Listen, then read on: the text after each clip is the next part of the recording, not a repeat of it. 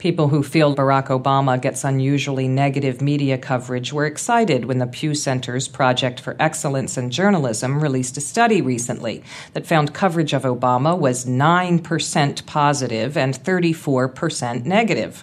A chart accompanying the study showed that, for example, Rick Perry had 32% positive coverage and 20% negative. The enthusiasm among liberal bloggers was partly about how the research would blow away the bogus conservative complaints about the liberal media. But we really don't need new research for that. And then there's the question of whether this study's any good.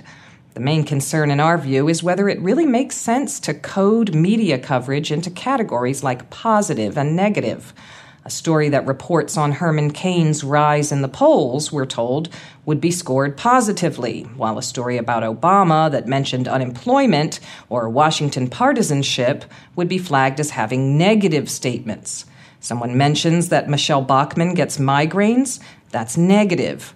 It just seems obvious that there's a problem in coding reporting of reality as being positive or negative treatment of any people who have some connection to that reality.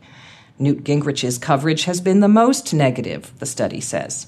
Okay, but his campaign has been marked by a variety of scandals and setbacks. So is that coverage biased against him or a reflection of what's happening? The idea that all good journalism is somehow neutral strikes us as unhelpful to media critics of any ideology.